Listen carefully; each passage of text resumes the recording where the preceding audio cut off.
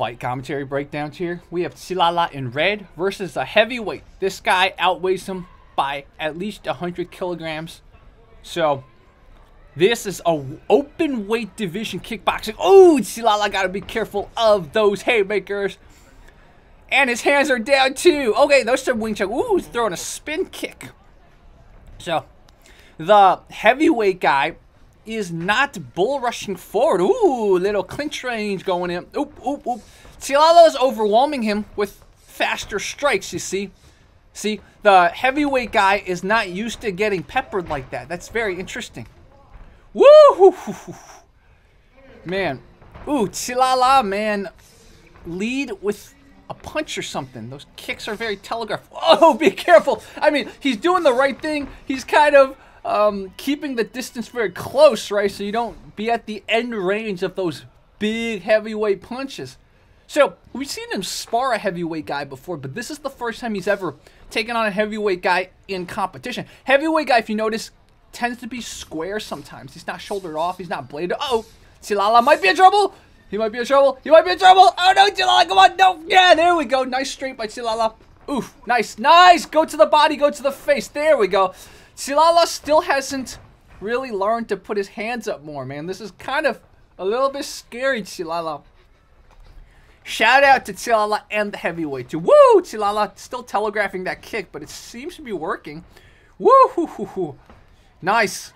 Nice. There we go. There we go. Oh, Qilala's doing some really good angling, but then he tends to get stuck once in a while. Like, he angles really well half the time, and the other half of the time, he's being explosive now. The other half of the time, he kind of just um, just stands there. I don't know what's going on. It's almost like he's got different systems of fighting in his head, and then sometimes he's not able to switch between them.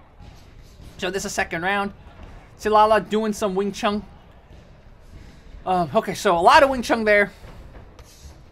There's a joke that when it doesn't work, it's Wing Chun, which is not true, but um, what I would say is if it looks a little flashier or it looks a little bit um, flowier, it's probably Wing Chun. Doesn't mean it works, but I'm not going to say, whoa, uh-oh.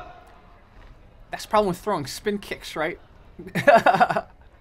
uh, um, I forgot what I was going to say. But anyways, um, Qilala, I don't know if he still smokes. I was supposed to have a Skype call with him the other day, but he was gaming, so um, he missed the call. But I wonder if he still smokes or not, or not.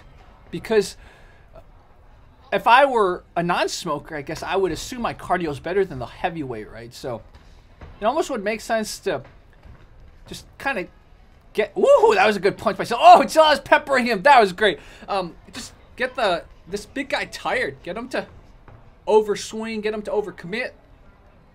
So also, guys, shout out Bloody Elbow. Bloody Elbow really likes fight commentary breakdown, so shout out Bloody Elbow. If you guys haven't gone to Bloody Elbow's website, go to Bloody Elbow. Oh, that was great. You see that? Qilala learned to get his head off center line when he threw a left. A lot of his punches are still very telegraphed. I just, yeah. I mean, some of these Wing Chun kind of um, moves, and I don't know the specific names, but they seem to be working in this case. Some of his frames do seem to work.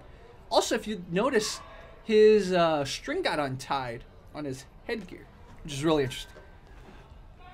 So, also, um, shout out to my buddy Jake, who I reconnected with just right now. So, I was texting him right before I was putting on this commentary. So, Jake, you will get a little shout out in this. So, if you were heavyweight, look at that heavyweight is very flat on his feet too. So if you look at the footwork, that's another thing. When you're flat on your feet, you don't have as much explosiveness to your strikes or to your steps, to your evasion either. So see the heavyweight, look at look at his look at versus look at Qilala. Qilala is much more on the balls of his feet, which gives him more of a spring. So that was the end of the second round. I think so far Oh, no, just two rounds. Oh, it's definitely going to Qilala then. If it's just two rounds, definitely going to Qilala. Yeah, exactly. Because again, Qilala hit him way more, and he was the smaller guy. So I think we know who won that, right? So this is Qilala sparring Muay Thai. Muay Thai guy is in the white shorts. So, again, these are different gloves, right? You notice Qilala's doing some Wing Chun right there. Oh, oh, oh, oh! That was pretty good. It's like his Wing Chun worked and then he lowered his hands and then Muay Thai guy caught him. Look at that. So Qilala's kind of pairing if you notice. But notice, um, if any of you, ouch. If any of you watched the Tyron Woodley versus Jake Paul number two, you know, don't parry away from your body, right? Okay, if someone's going to hit your face, okay, parry a little. But body, don't parry away because you'll end up like Tyron Woodley. Um, prayers for Tyron Woodley, by the way. He had a pretty bad KO. So anyways, um, back to this fight. Sparring session, not fight, not fight. So you see that? Um, I will say Qilala is pairing a little too far, even away from his face. So Muay Thai could probably time that right and hit Qilala. So I know Qilala. Oh, that was great head off center line head movement if you notice from Qilala. So Qilala, if you notice, has been training a little boxing, I believe, from my understanding. You can see a little bit of it. So, oh, that was pretty good. That was a little good angle right there. Muay Thai guy throwing the teep good. I was going to say, throw more teeps, man. That's one of your biggest weapons against Wing Chun. I like that although they are kind of hard medium sparring, it's still lack of ego sparring, I could tell. Look at that. Ooh, nice. Ooh, chill out. Better be careful doing the Anderson Silva. Woo! Oh, oh, that. If that were in competition, Qilala would have been KO'd.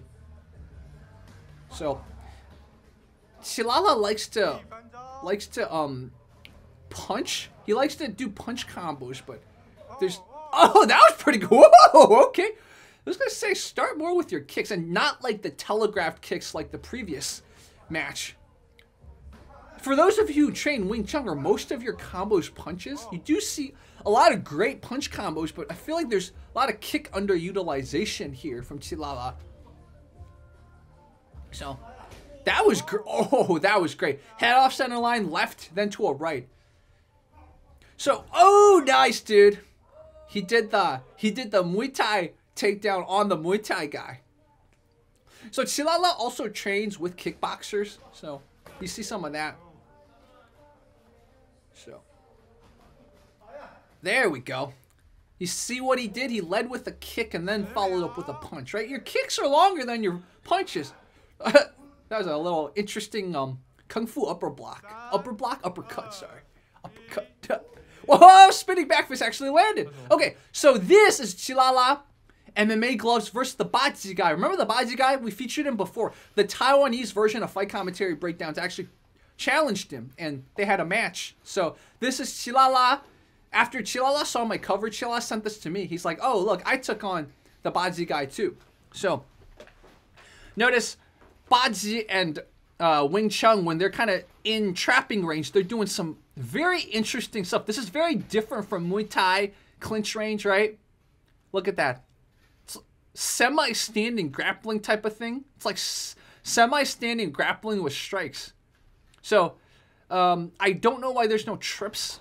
Maybe they said no trips or something. But oh, then never mind. There is trips. Ooh, Qilala kind of landed on his head. um, so for those of you who've done kung fu, have you ever kind of seen this type of sparring? If you notice, Qilala is southpaw. Our Baji guy is orthodox. So let's see what Qilala does here.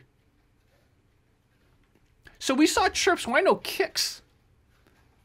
This is almost like um what is what what does this remind me of? This looks like Tai Chi push hands. Um, not fixed step, movable step or free step Tai Chi push hands. But this is like a hard version.